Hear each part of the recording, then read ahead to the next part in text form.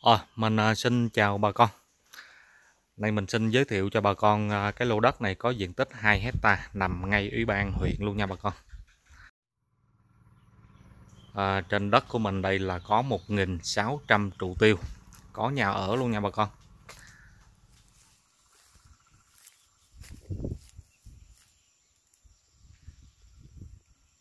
Thì à, trên tổng diện tích 2 hecta thì à, có 1.600 trụ tiêu 400 cây ổi 400 cây cà phê à, 100 cây sầu riêng năm thứ tư nha bà con.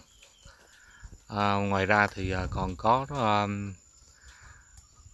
50 cây bưởi 50 cây mít 50 cây dừa đây sầu riêng à, 100 cây như vậy nha bà con. Là năm à, thứ tư. Sầu riêng được 4 năm rồi. Ổi này theo như chủ nói là ổi lê gì đó nha bà, bà con. Mình cũng không rành ổi lắm. Ổi là được 400 cây. À, tiêu thì 1.600 trụ.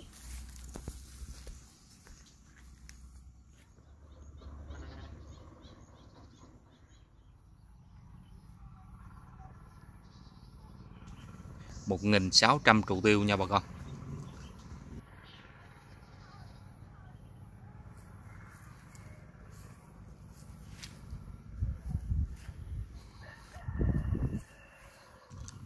À, đất mình đây là có cái mặt đường bê tông. Ôm mặt đường bê tông là khoảng 80 mét nha bà con. Trên tổng diện tích là 2 hecta sổ đầy đủ. Thì ở đây mình xin nói thêm là theo như chủ nhà nói thì à, chủ nhà bán cái vườn có diện tích là 2 hecta có nhà ở thì à, chỉ để lại là đồ dùng phục vụ à, sản xuất nông nghiệp. Còn đồ đạc như bàn ghế tủ tivi gì đó là chủ nhà lấy đi nha bà con.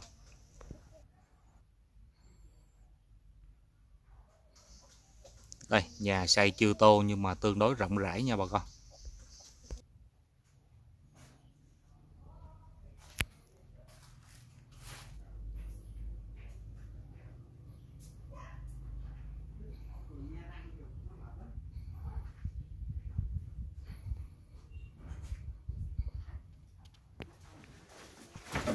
Đây, chủ nhà hiện tại là đang có cái trại dê.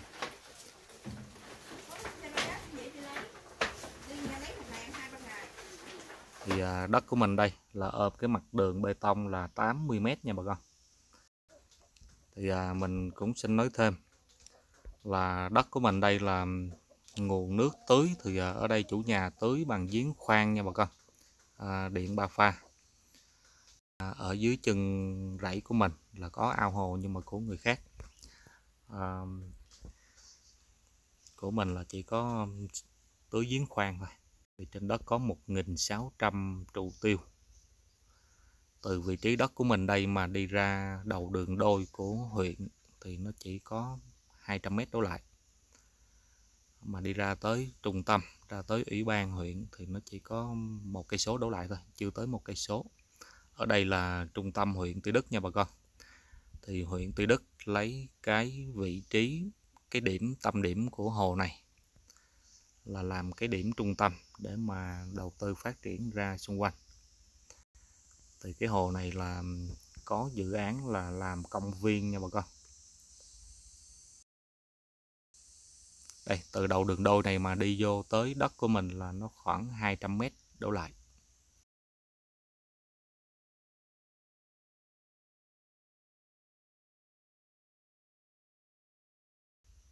Đất của mình ôm mặt đường bê tông này là 80 m nha bà con.